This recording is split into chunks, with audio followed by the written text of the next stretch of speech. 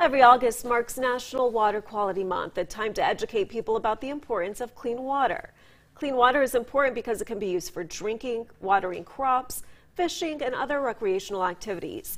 Things that can lead to poor water quality include littering, stormwater runoff, and improper waste disposal. But there are things you can do to help keep water in your area clean. One thing, making sure that their uh, septic system is properly maintained and designed and in working order. Um, as I said, one of the biggest uh, visible impacts to our water bodies is from litter. Simply don't don't throw litter if you're out on a boat recreating. Make sure you're picking that up and bringing it back off the waters with you, and properly disposing of it. He says another way to keep the water clean is to dispose of other wastes, such as oil in your car and household waste, in the appropriate place.